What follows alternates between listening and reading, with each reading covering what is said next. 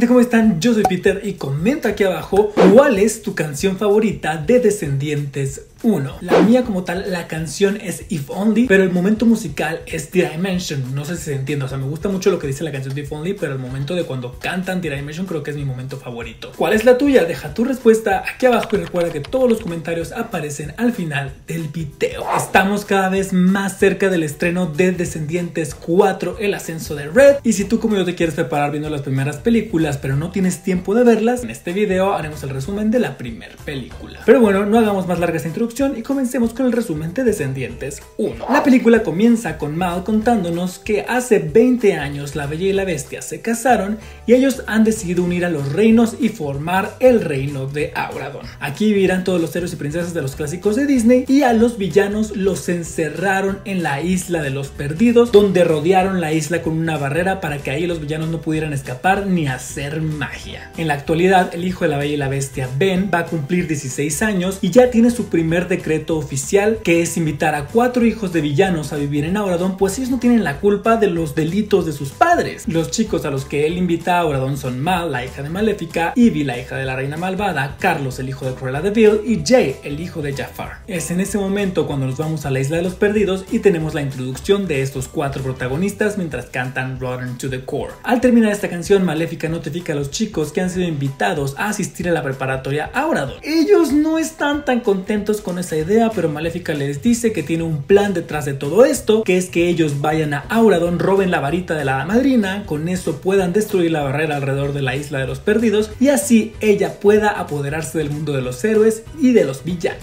La reina malvada le da a Ivy su espejo mágico, Maléfica le da a Mal un libro de hechizos y es así como los mandan en limusina hasta Auradon. En Auradon ellos son recibidos por Ben, a quien ya conocemos, por Audrey, que es la novia de Ben y la hija de la Bella Durmiente, y por el hada madrina, que les dice que en Auradon como tal ya no se usa tanto la magia, sino que viven como personas más normales, por lo que ella ya no usa su varita mágica, pues ya no la necesita. Ben y Audrey les muestran un poco el lugar hasta que los dejan con Doug, que los lleva a sus habitaciones, y ahí en la habitación ellos empiezan a planear qué es lo que van a hacer para poder robar la varita de la hada madrina. Con ayuda del espejo mágico de Ivy, descubren que la varita está en el museo de Auradon, por lo que ellos no se hacen esperar y deciden ir al museo para robar esa misma noche. Ellos al llegar al museo obviamente ven que hay un guardia, pero Mal lanza un hechizo para hacerlos dormir y lograr infiltrarse en el museo. En el museo están todos los objetos mágicos de los clásicos de Disney, como la rueca de la Bella Durmiente, la lámpara de Aladdin, la rosa de la Bella y la Bestia, y son algunos de los que me acuerdo. Asimismo, en el museo, por alguna extraña razón, están cuatro estatuas de villanos, la estatua de Maléfica, de la Reina Malvada, de Jafar y de Cruella de Vil. Yo creo que Ben llegó a este museo y dijo, si yo tuviera que elegir a cuatro hijos de villanos, creo que serían los hijos de ellos cuatro. O sea, el museo también ayudó para que Ben tomara su decisión. Mal y Maléfica tienen un número musical que sucede en la mente de Mal, que se llama Evil Like Me, donde Maléfica básicamente le dice, tienes que ser mala como yo, aprender de lo que yo hago para que podamos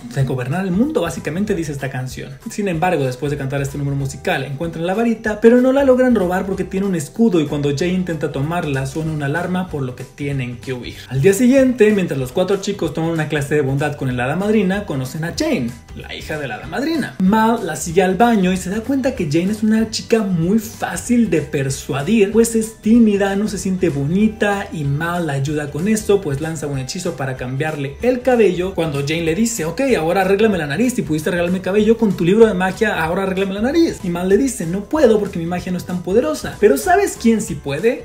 Tu mamá, el hada madrina. Si pudo hacerlo con Cenicienta, que no pueda hacerlo con su propia hija. A Jane le encanta esta idea y le dice a Mal que va a invitarla cuando la hada madrina use su varita. Sin embargo, Mal no sabe cuánto tiempo va a pasar para que eso suceda. Por lo que ahora solo les toca esperar y un poco adaptarse a lo que es Sauradon y la verdad creo que no les está saliendo nada mal. Jay es aceptado en el equipo de Turney cuando el entrenador ve la fuerza que tiene y cómo puede ser un gran miembro para el equipo. Ben le ayuda a Carlos a vencer su miedo a los perros, miedo que su mamá le había puesto pues dijo que todos los perros del mundo eran terribles y malos y Carlos de alguna forma encuentra en Chico una mascota y un nuevo amigo. Ivy conoce a Chad, el hijo de Cenicienta, y se hace la tonta para gustarle, pero lo único que logra es que él la obligue a hacer su tarea. Por lo que a la par también conoce a Doug, quien la anima un poco a que se dé cuenta que no necesita hacerse ver la tonta para realmente demostrar lo que es y que no necesita un príncipe. Sin embargo, un poco Ivy no quiere entender esta situación. Después, Lonnie, la hija de Mulan, acude a Mal para que ella también tenga su cabello bonito como el de Jane y Lonnie le paga a Mal, por lo que un poco Mal empieza a ser popular con todas las chicas, pues todas ahora tienen un cabello increíble y Audrey se pone súper celosa porque si todas las chicas tienen un cabello increíble, ¿dónde va a quedar ella? Ivy les dice a los chicos que Doc le comentó que la hada madrina va a usar su varita en la coronación de Ben, por lo que Mal dice, si esa es nuestra oportunidad para robar la varita, tenemos que estar cerca de cuando la hada madrina la use, por lo que un poco intenta convencer a Ben de que ponga a los cuatro chicos cerca de la hada madrina, pero Ben le dice que cerca de la madrina solo van a estar sus papás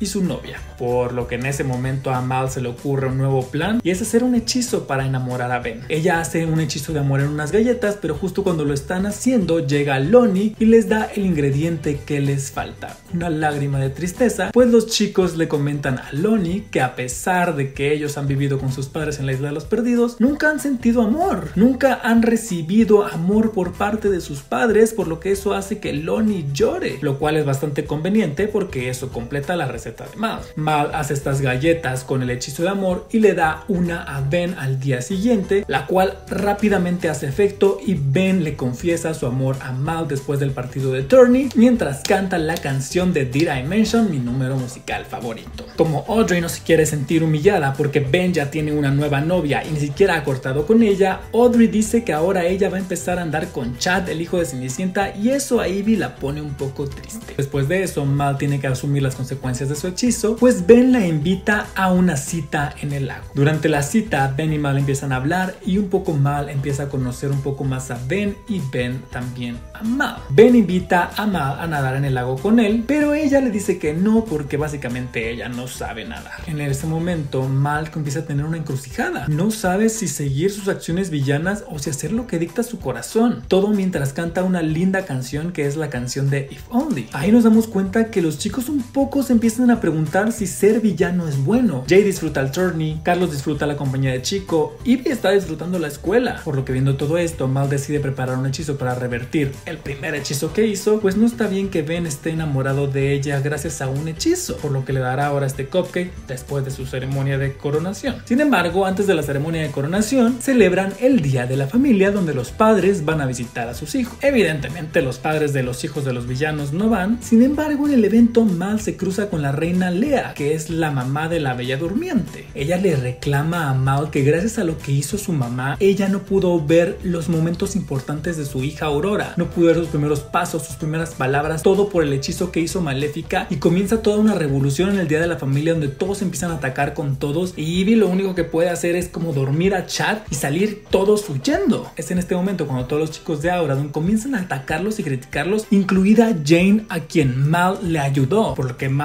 enojada revierte el hechizo del cabello de Jane y la vuelve a poner con su cabello feo que tenía al principio. Esto hace que los chicos dejen de dudar si ser villano es bueno o no, porque ya lo que quieren es irse de Auradon, por lo que deciden seguir su plan y robar la varita de la madrina. En el día de la coronación, Ben y Mal llegan en un carruaje y Ben le da su anillo a Mal para que lo use como su novia. Mal no lo quiere aceptar porque sabe que Ben se lo está dando por el hechizo de amor, por lo que ella decide darle el cupcake que revierte ese hechizo y le dice que lo coma después de la ceremonia, que Ben no le hace caso y se lo come en ese momento y le dice vamos a esperar a ver si ya pues, se rompe el hechizo que me pusiste. Mal se preocupa porque Ben resulta que sí conoce el hechizo, pero Ben le dice que el hechizo desapareció en el lago, que lo que ha sentido por ella es realmente genuino y que obviamente entiende que Mal haya usado ese hechizo porque ella estaba celosa de que él estaba de novio con Audrey, por lo que acepta que su novia lo hechice. Después de esto comienza la ceremonia y antes de que la hada madrina proclame a Rey como Ben, le arrebatan la varita. Es en ese momento como con la varita lanzan un rayo al cielo que cae justo en la isla de los perdidos y hace un hueco en esta isla, por lo que Maléfica aprovecha y decide usar ese hueco para huir de la isla y llegar a conquistar.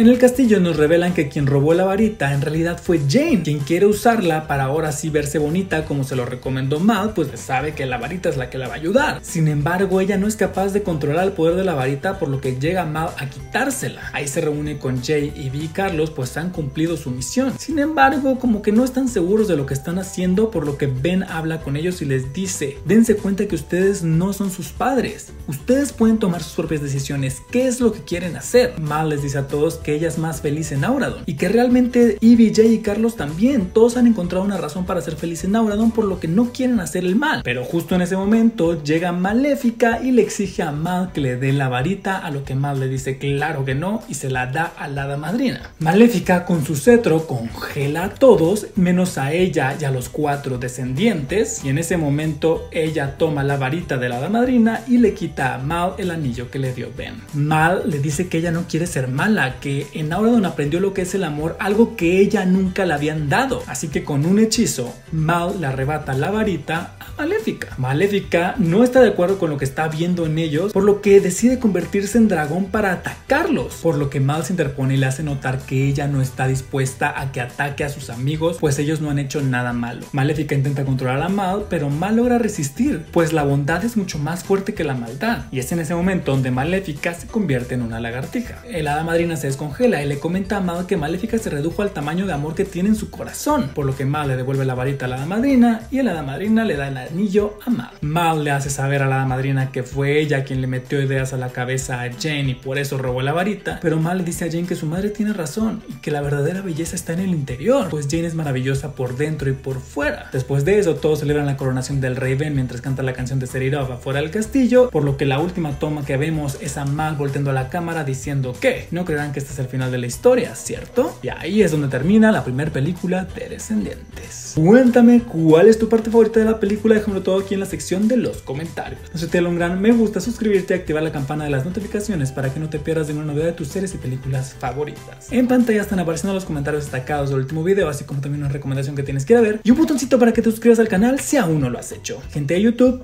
yo soy Peter y a ti te veo en el próximo video. Chao.